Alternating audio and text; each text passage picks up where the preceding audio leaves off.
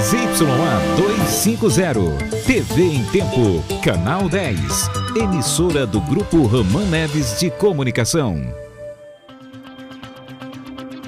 Policiais militares são presos em flagrante por extorsão e sequestro. Quatro pessoas são presas por assaltar joalherias e roubar carros na capital. Mais aumento, o preço da cesta básica sobe de novo. Tomate, açúcar e feijão são os produtos mais caros. Estudantes fazem fila para fazer recadastro e ter direito a meia passagem de ônibus. Em Parintins, índios Saterê Maué fazem ritual da tucandeira. E mais, Imba prepara peixes bois para serem devolvidos à natureza. O Jornal em Tempo desta terça-feira já está no ar.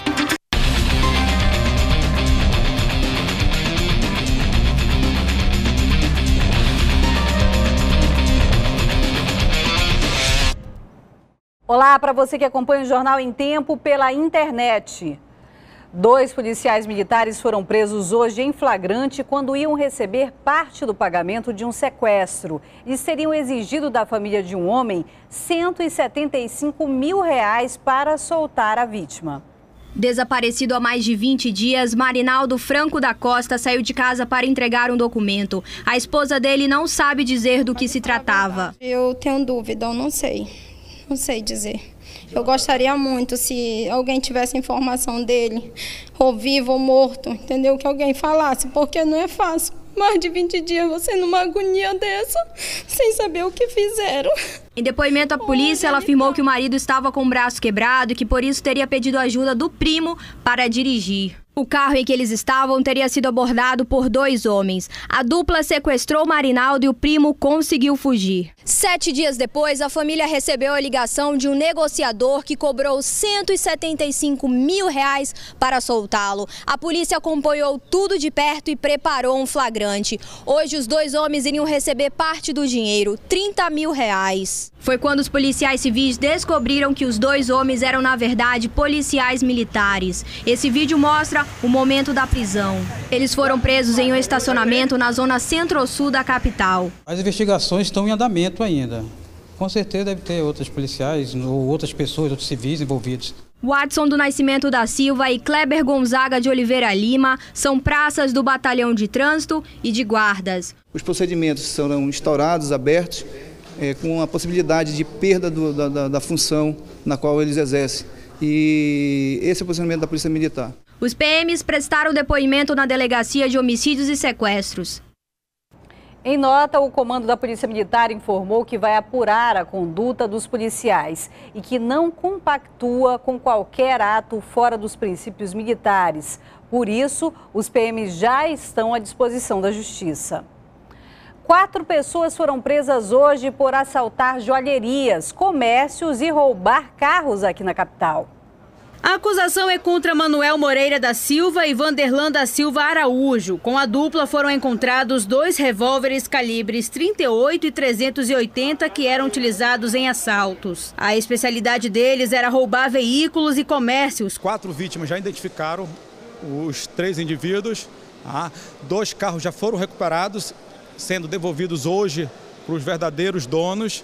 Ah, e, as, e as investigações continuam para nós encontrarmos o terceiro indivíduo, que é o Bruno. A polícia também apresentou aqui na Delegacia Geral o casal que assaltou uma joalheria no centro em outubro do ano passado. O prejuízo foi de 25 mil reais. Leandro Micael Cruz e Bruna Gabriela Faba tinham passagem pela polícia. Com eles também foram encontrados o revólver usado no assalto. As vítimas falaram que o, o Leandro foi muito violento e no vídeo dá para perceber que ele aciona o gatilho por duas vezes, só que graças a Deus a arma não funcionou e ninguém foi ferido. Manuel e Vanderlan vão responder por roubo majorado, posse ilegal de arma e tráfico de drogas. O casal por roubo majorado. Os estudantes que deixaram para fazer o cadastro e o recadastro da meia passagem agora em fevereiro têm enfrentado filas. A sede do Cinetran ficou lotada na manhã de hoje. Apesar do prazo ter iniciado no dia 4 de janeiro, muitos deixaram para fazer o cadastro e o recadastro em cima da hora. Resultado: filas dentro e fora do Sinetran. O certo, o certo, né? Era tirar o vale transporte, botar os créditos. Aqui logo na fila, entendeu? Só que ainda tem que botar, enfrentar outra fila para poder botar os créditos. Complicado, né? Calcula quantas horas aí para te conseguir sair daqui?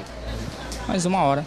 Com essa fila, o jeito é se distrair no celular para ver se o tempo passa mais rápido, né, Mardoni? Pensei até ir embora logo, né?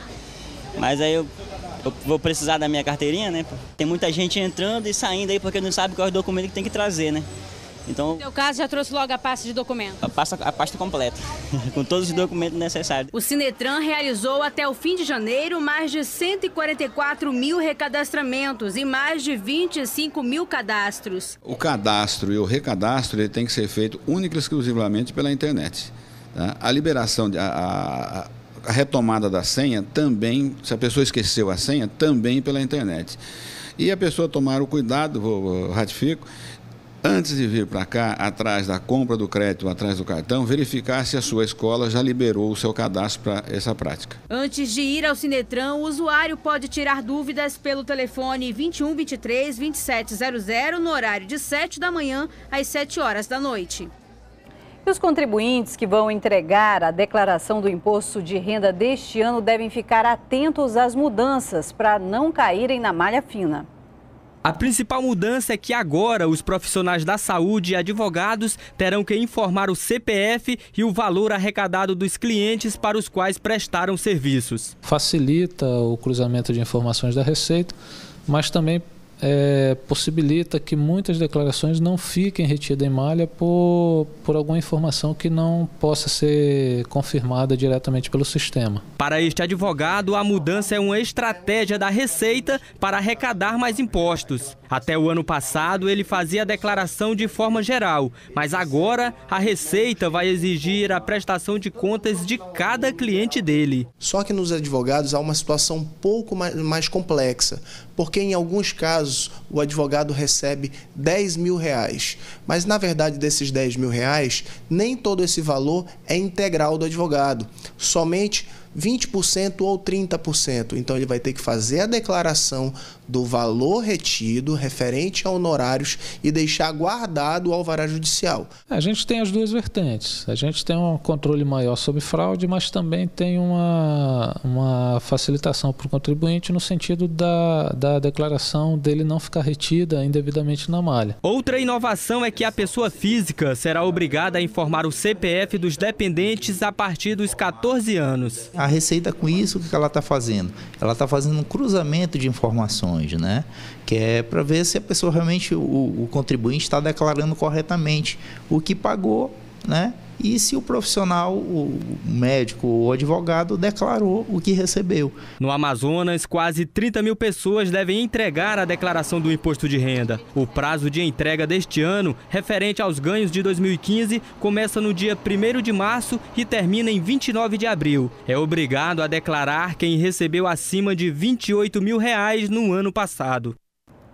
Daqui a pouco o preço da cesta básica sobe mais uma vez e ainda peixes bois são preparados para voltar à natureza. Você confere já já.